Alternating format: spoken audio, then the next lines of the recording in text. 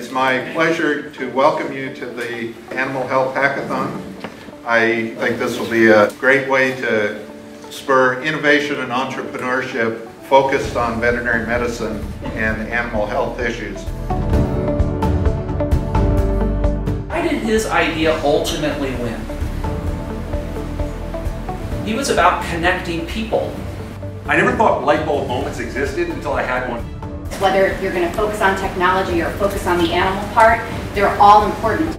I love the intersection of um, technology, veterinary medicine. My goal is much like any other veterinarians, which is to strengthen the human-animal bond by promoting animal health. So in that spirit, um, I'm going to talk about some personalized medicine aspects. So I want to solve that problem. Looking for like computer science people, business people, managing. Um, it's obviously open for discussion.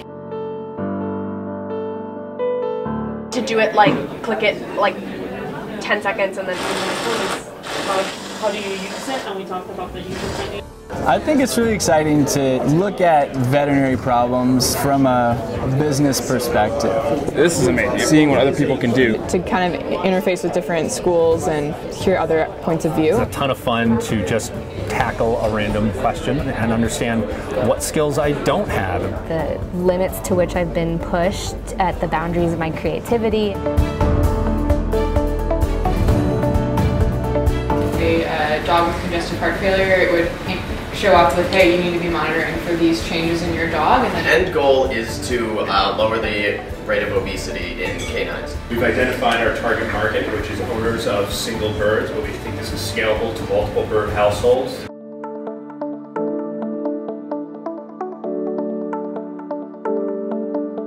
the opportunity of being able to work with multidisciplinary students and faculty and, and members from industry.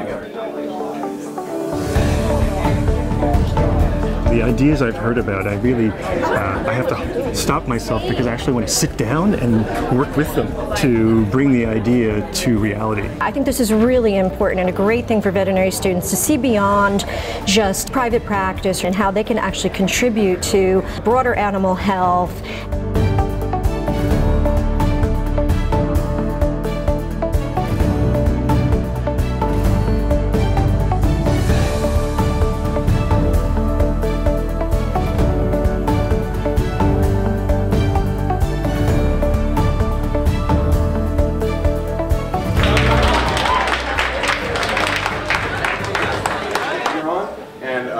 Specific logic per the website. Another pet owner who has our reputation.